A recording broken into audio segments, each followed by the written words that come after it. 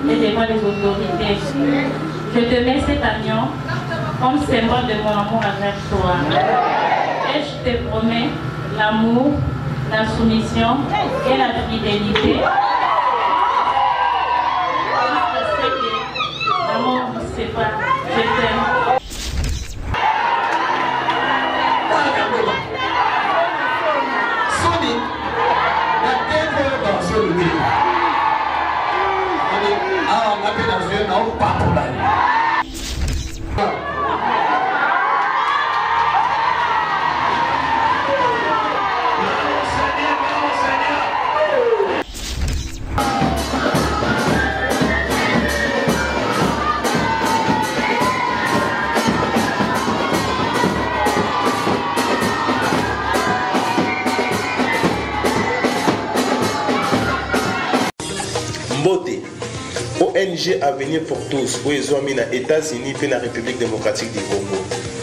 na susi ya kosunga bandeko na biso batikala na Angola mpe na Republique democratique du Congo ememeli biso baservice ya ligne ndakisa boutique aide alimentaire mpe service ya Easy Cash International kotinda mbongo na famille to na bato bazangi bamoyen kopesa badon mpo na baorphelina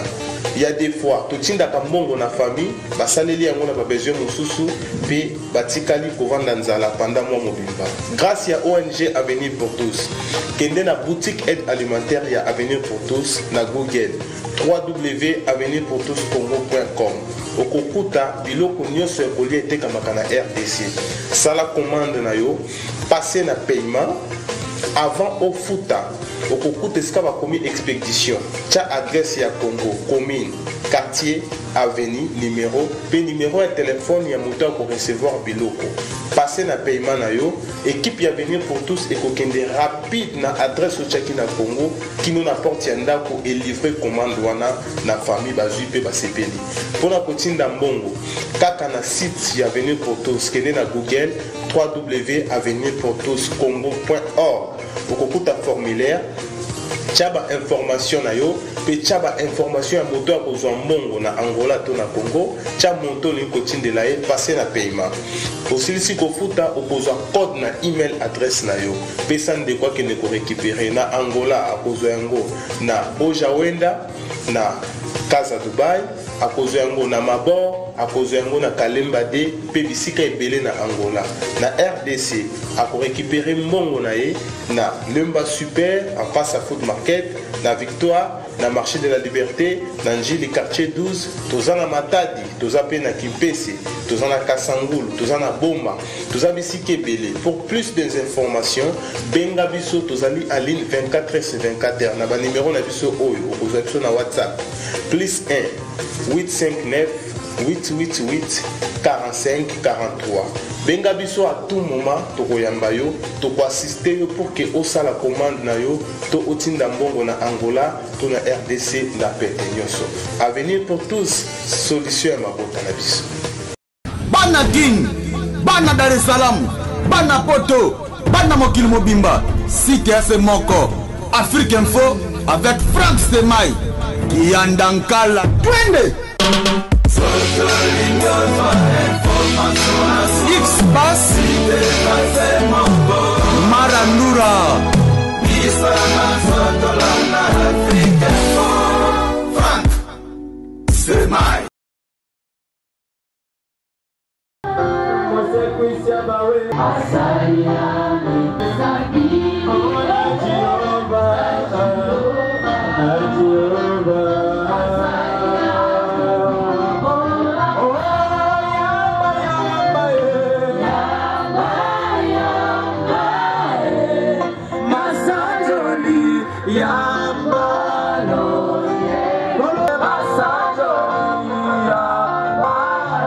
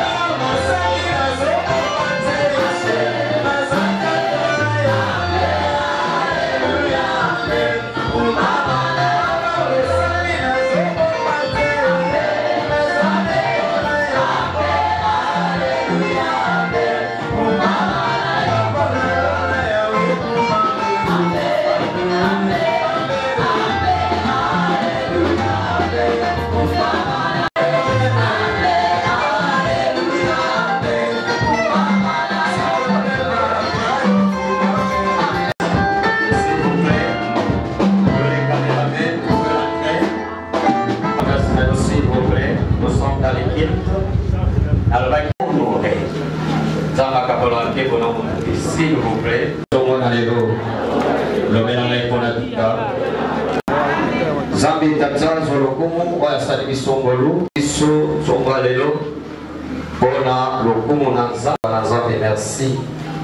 Et tozangisa ba triple ba matondo epai na tata na biso le révérend Lokuta Bigedi Esi et le Dieu de la Bible bénisse aussi notre Père. Dieu bénisse Nzambe apambola basala Nzambe nyonso bazawa Nzambe apambola bana Nzambe nyonso bazawa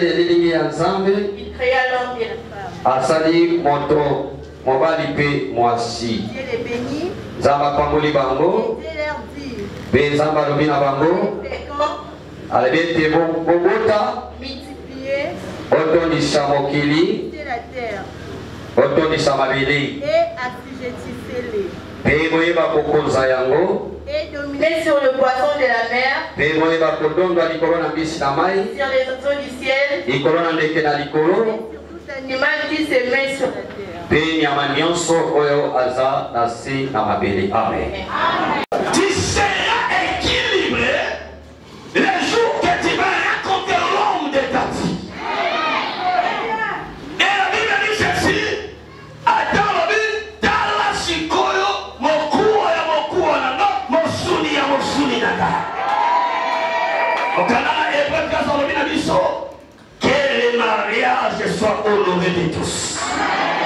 Libala ekumisama na bato nyonso, mbeto na libala ezala na mbindo te. Que le mariage soit honore de tous. Et ce matin, le Dieu de la Bible a aidé à honorer une personne dans ses cultes. Oh, si les mariés sont là,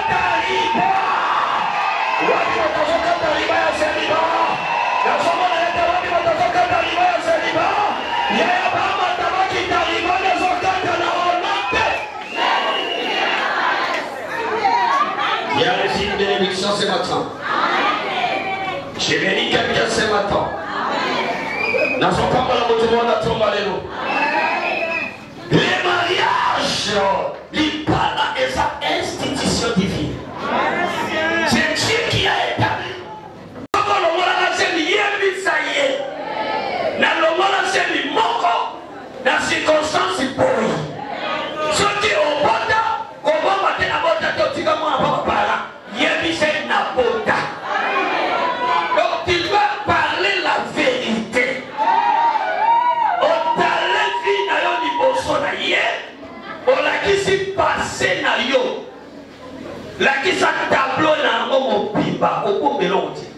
nazali biso pourkoi de la même sorte mobali atale mpe tableau na ye oyo eza passe abandi koexplike nalekaka na bapierete nalekaka na marichal nalekaka na fifi naleka na mimi naleka na chantal nale atanga yaya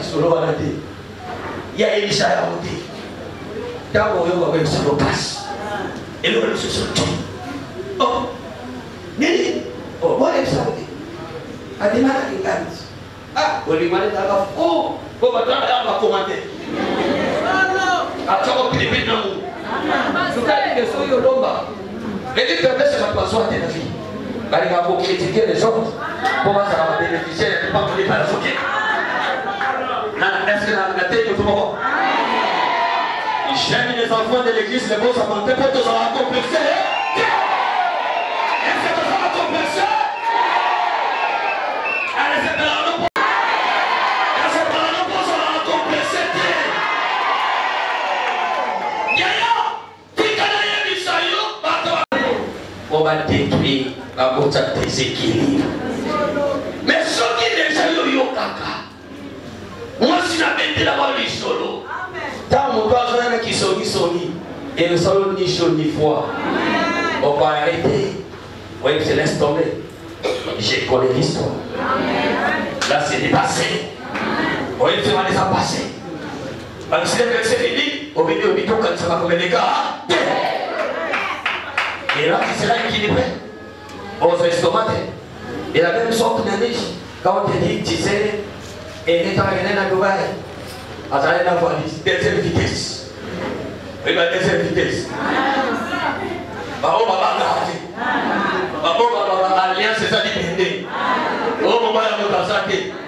okosi mobali ya moto asa mwasi ya bato asa batima netinga na mobali bato mwa mami atotie bafere bafode te atolemisi luketu na yo nazala na bato ya mwa mami yaya atosiliki etali yo te yaya nazalaka ya mwa mami yaya yaya nazalaka ya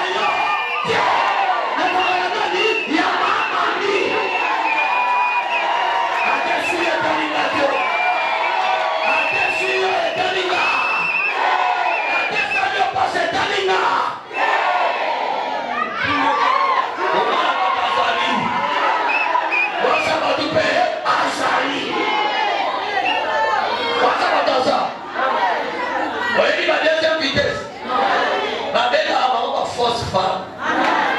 nzonga ayokela bato mawa oyo bakenda kokende mibala bato mpo babenga yango fausse oza mpe te oza fausse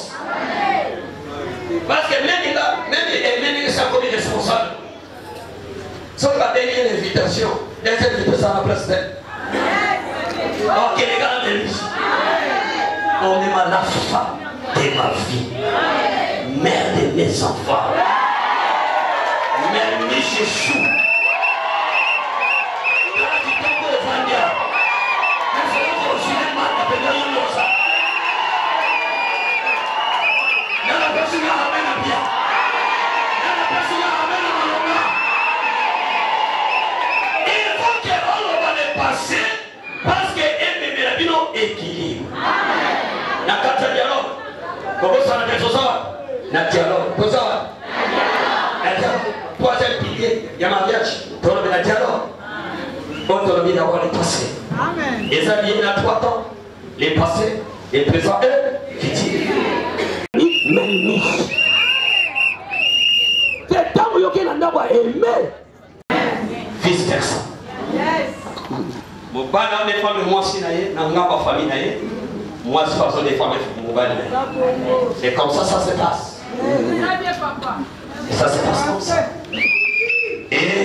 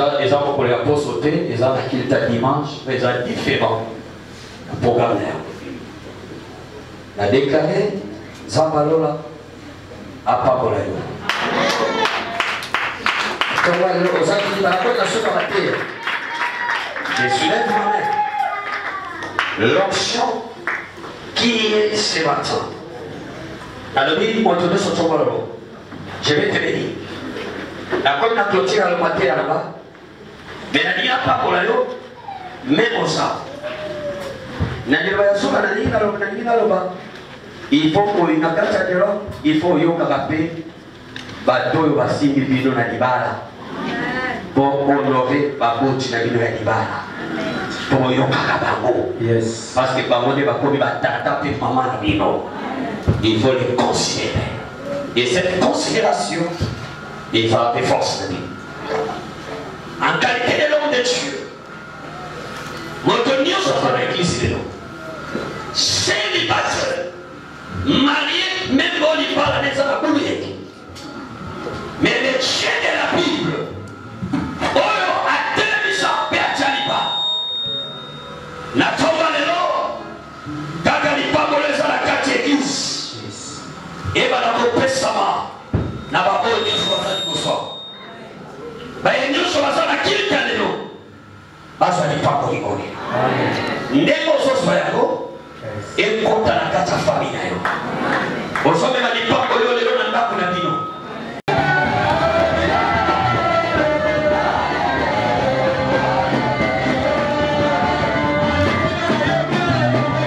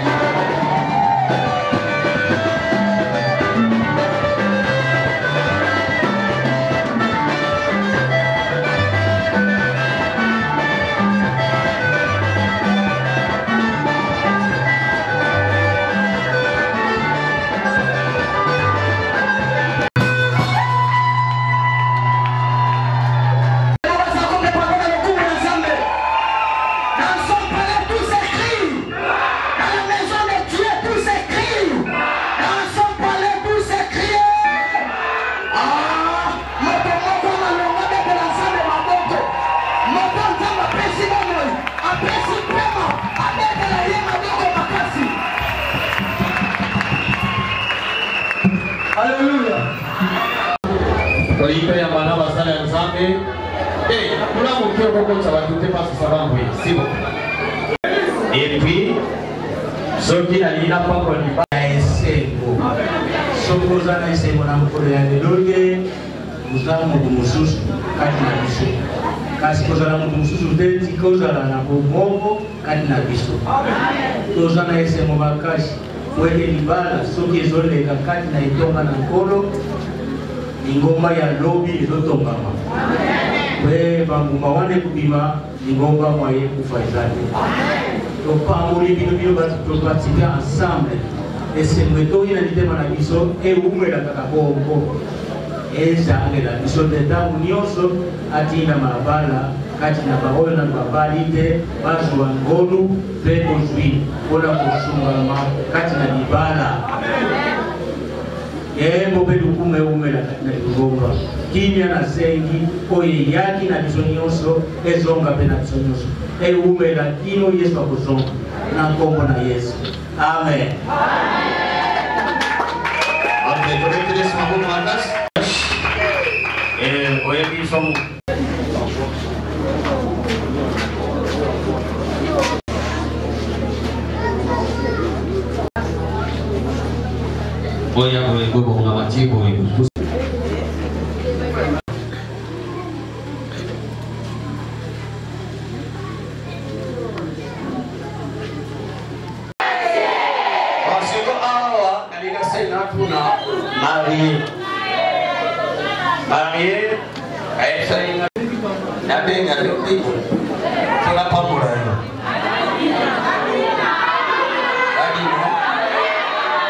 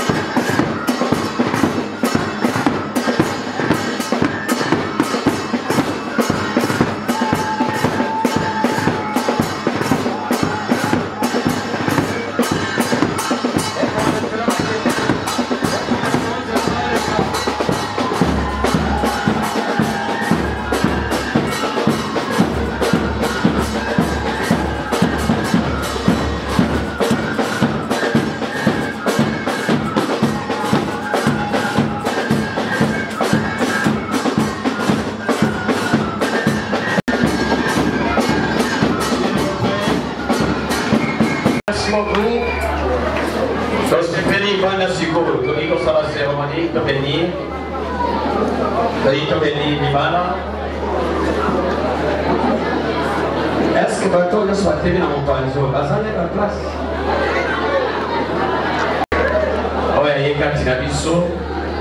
tozoyamba pasteur jean paul mayata toza marke reta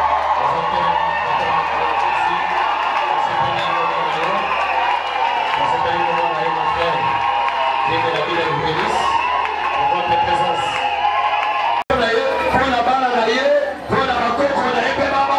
you. Walila koweza kotanda liputa wali kotanda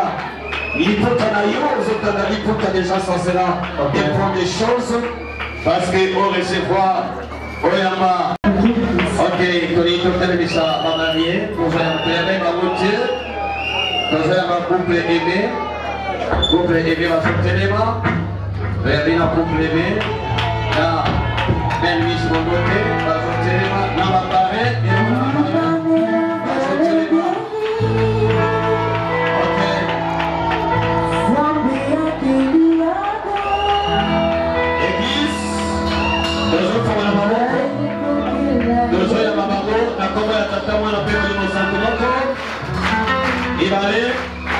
misato baya na bango ba ok tofandi bino bozala kofanda wana ezalaki ya kempe ya mimino tolingi toleka na seremoni tozobeka tata to represente ya tata représentant motoso tata azali te mpo moso ekozala mpe représentant ya tata azali akoki koya so na libanda na libanda Bato boza libanda eske ok ah, papa sengaki mwa mita ok papa papa yaka yaka telema bapeswa mikro ok tozotuna motuna papa liboso na nzambe tata mpe liboso na lingomba bopesaki mpo na libala pesaki botikali eloko te nyonso ekomisamaki ok yo lokola tata ya mobali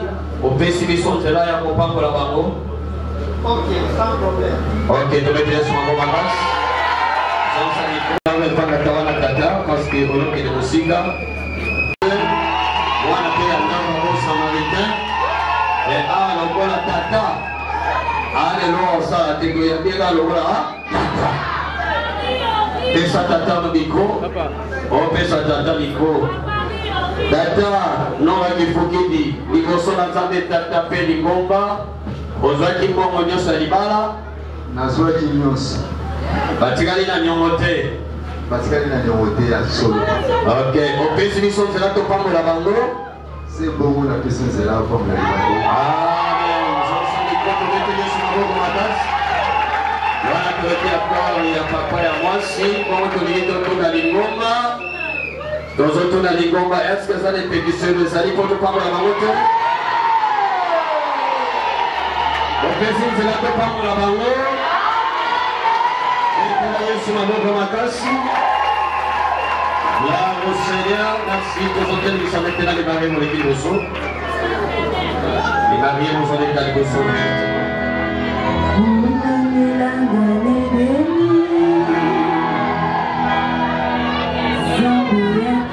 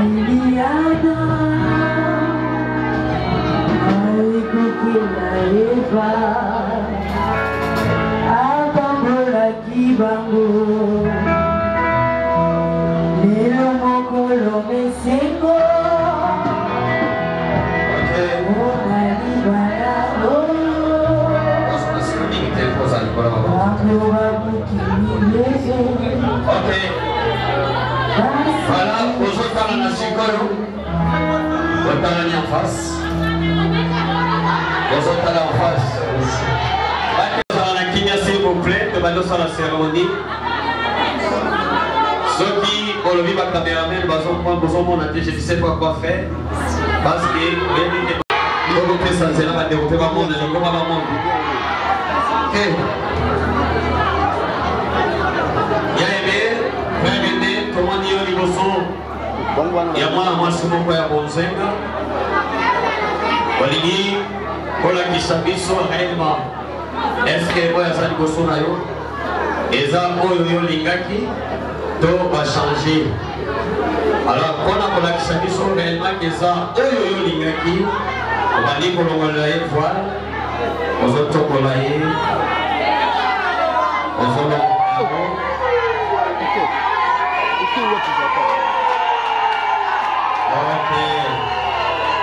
eske ferebe moto oyo olingaki ye wana aza liboso na yo namoni ye papa ezali ye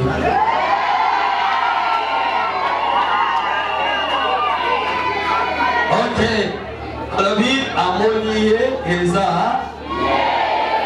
nakolakisa kifele morelmaki eza ye liboso na nzambe tata mpe liboso ya lingomba liboso ya batata mwali pwepwe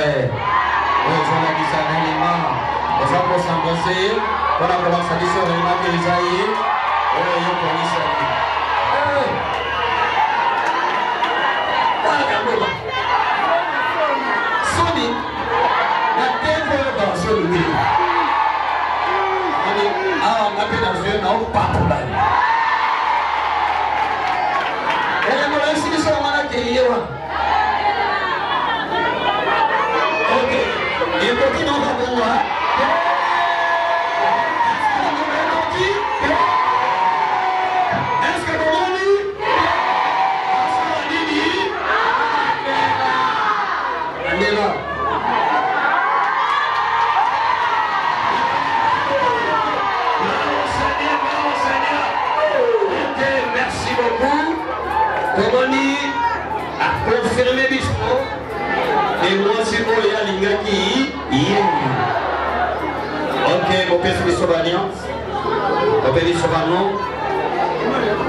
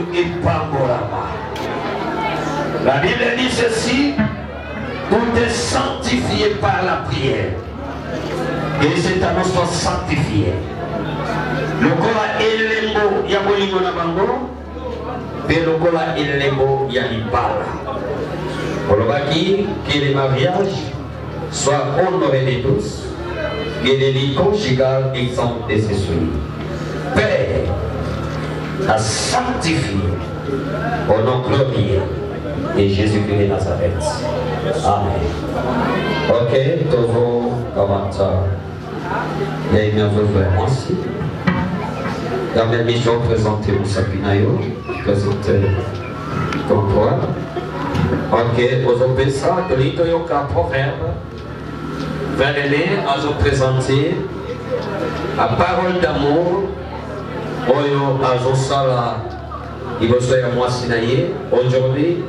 aza mwasi na ye parce que baboti baliaki deja mbongo leta mpe asangisaki bango aza deja mwasi na ye tozoyoka poème d'amour oyo frère ene azopesa epai na mwasi ne pendaki azolatisa ye Elano, anome. Elvish, mbote oyo nga nabengaka yo ntango nyonso na mbote mwasi oyo aleki mpasi ya mokili mobana kitoko mwasi oyo alatisi yo lopete ya bolingo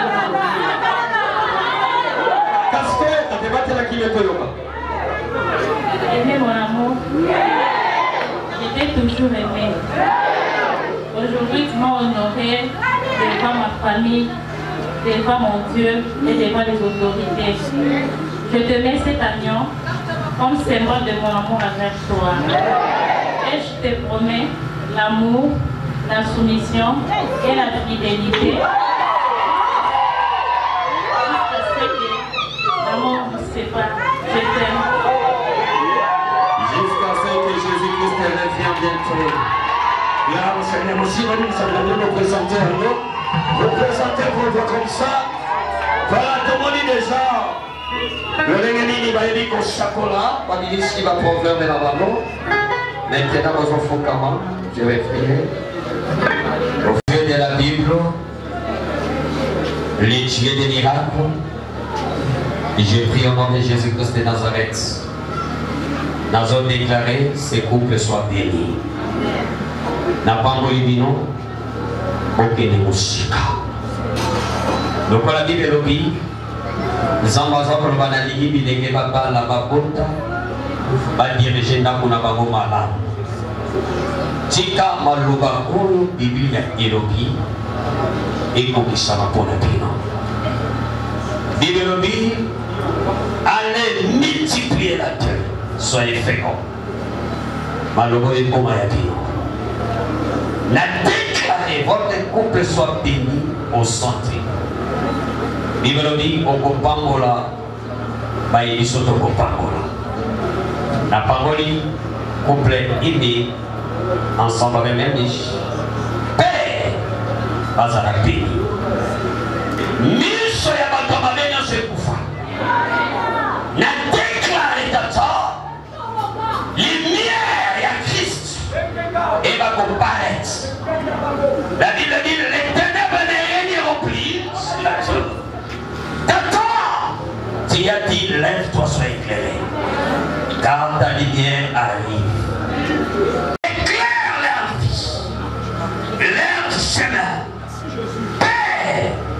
Ntango nyonso ba yo zala defenseur na bango. Odefendre bango na butu lokola na moi. Oyo tomoni lelo c'est-à-dire bazala beni réussite en réussite, yes, yes. succès en succès, gloire en gloire, yes. et que la paix domine et la sécurité divine. etelere dans leur vie lelo tokotisi lipamboli na ndako oyo todeklare epuisanela bango nom puissant de jésus christ de nazareth soyez béni et soyez fécond au nom glorieux de jésus christ de nazareth amen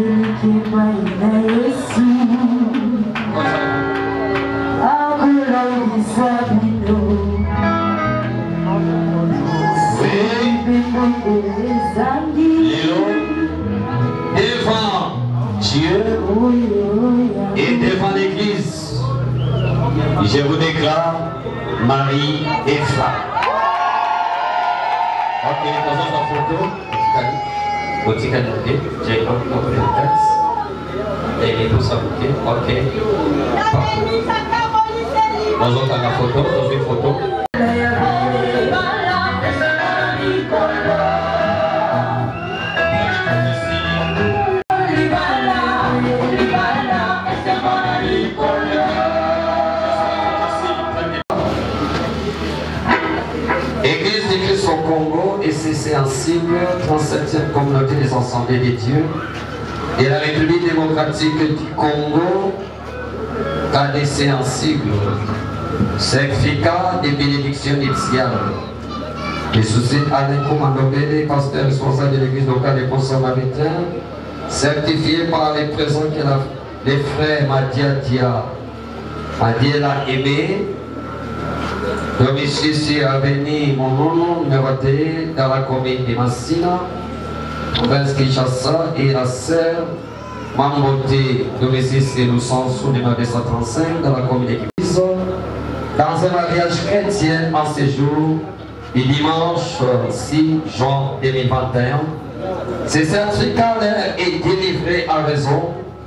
du témoignage de leur foi chrétienne fait à Kinshasa le 6 juin 2021. Ok, voilà votre certificat. Et la deuxième des choses, nous ont présenté la parole de Dieu. La kati la Biblia nyonso eza. La kati la Biblia nyonso eza. bana bazawa mbongo ezawa voyage ezawa lola ezawa toutes sortes de choses kokoluka eza na kati ya bible e topesi bino liloba ya nzambe la parole de dieu c'est ça eservi bino lokola mokanda na josue mokanda na josue chapitre 1 verset 8 Ye lobi, Buku na bomoi elongwa te na monoko na yo, tanga yango butu lokola moi, c'est alors okozala na succès mpe okoresi dans ton entreprise. Je suis le parole de Dieu mpo na kolakisa kini eya butu eya moi, secours na bino eza liloba ya Nzambe. Botala koshi liloba ya Nzambe. Troisième des choses, par rapport à l'église, tous ont présenté les cadeaux de l'église. oyo voilà tu peux toucher seulement alati bapembe tisalaka signe ok ça c'est les cadeaux pour l'église likolo ya bible tosepelaki tobana couple olinga nayebi te kolinga biloko ya moto fufu ya moto nde yango bapesaki wana mpo balandela ofufu ok voilà votre cadeau zongi tiango na mpe kosisa depose Voilà, mpo na ngai tosukisi ah. Soyez bénis au nom de Jésus-Christ de Nazareth. Ozongi na bien. Tobeti biso bango makasi. Tozongi na place.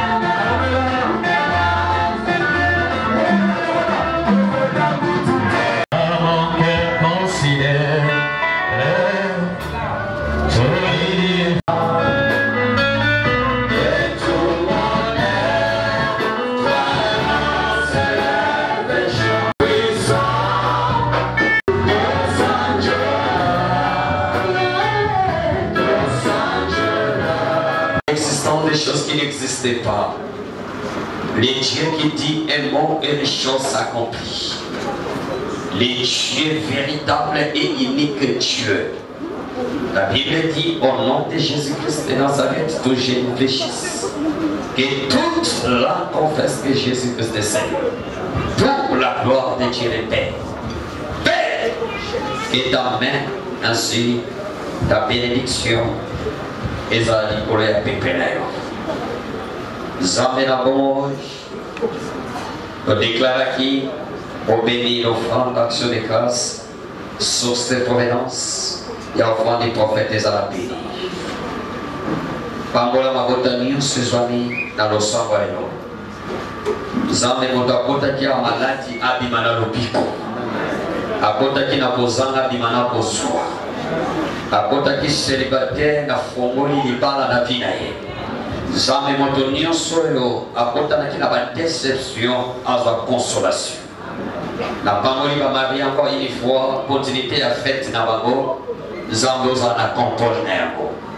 ndenge bazobima awa ndenge bakoki kokanisa bafoto ndenge bakozala na sale Na declare salle ezala sanctifie. Ba oyo nyonso baza na service bazala sanctifie.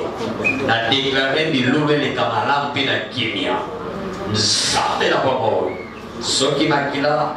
na Israël esevaki signe makila ya mwana na mpate biso na ntango na biso na nouvelle alliance makila na yesu eganga koleka makila ya bele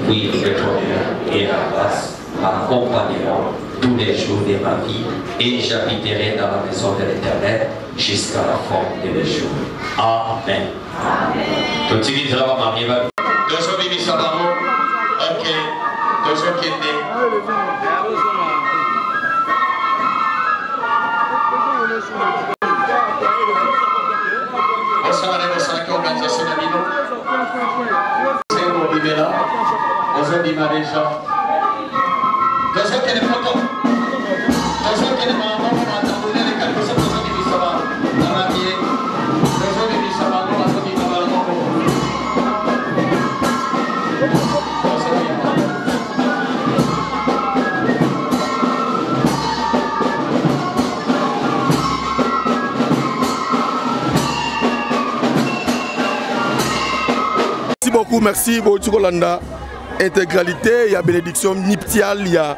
eh, lite ya kanda c'est-à-dire aimé oyo abali lelo oyo molongani na ye balongani lelo et en fait pacte na idéologie awa tige toujours na kati ya ya njili na quartier 13 esika nini tige ekiti ndenge botokomona s'il vous plaît ndenge botomona merci beaucoup merci deja tala bango wana couple baza kobima couple baza kobima elite ya koleka bongo te seki eloba eloko nini akoleka bongo te dadi seki eloba eloko eh, dadi te eloba eloko merci beaucoup dadi abi tata pambola merci na bato to bolandi biso merci bakontinue toujours kosala confiance na émission na bino tumba tumba oyo eza bongo présenté par zakari mwamba le général de la presse congolaise mwana papa simo kimbango babi de fois te bokomprendre ndenge nini libala ya lite ya kanda eleki masana ngai elonga kala vraiment nayebi te soki okoki koloba mwa moke atanda ti to clôture lite ya kanda bali esengo nini namonika comédien moko aye naza na esengo makasi parce que omoni lelo na fier d'être eh, parent nga mema liteya kanda pa pasteur de la foi aboyaka ye te andimaka bi ke nayambi leki na yo mais leki lelo aza na honneur makasi epuis aza star monene fier wana ezongi mpo na nga ntake parent epuis na remercie mpe papa jean paul mayata pasteur de la foi epuis na courage ya liteya kanda aza na yango vraiment félicitation nana esengo makasi esengo na nango mwamba mbanga ya danze mbanga ya danze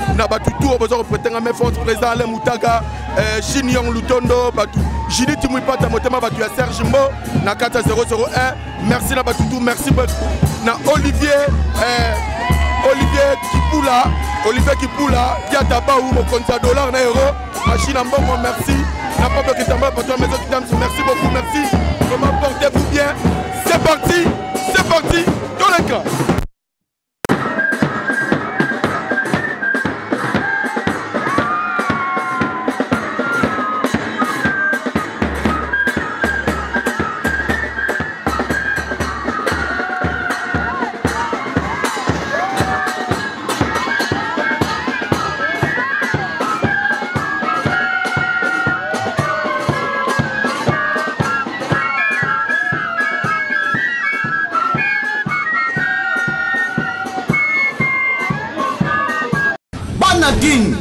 bana dar es salaam bana poto bana mokili mobimba site efe moko afrique info avec frank semai kiyandankala twende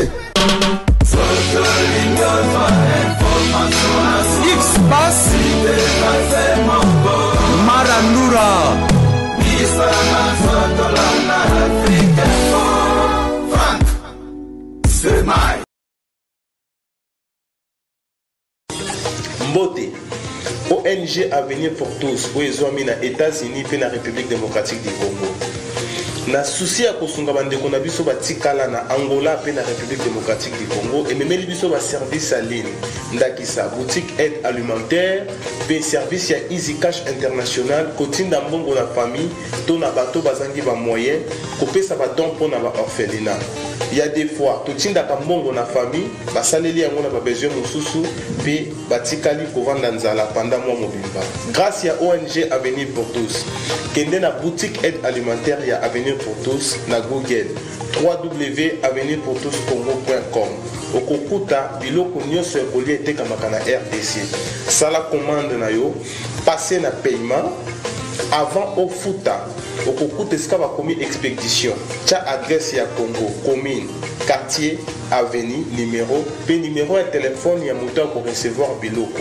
passe na paiement na yo ekipe ya avenir pour tous ekokende rapide na adresse otyaki na congo kino na porte ya ndako elivre commande wana na famille bazwi mpe basepeli mpo na kotinda mbongo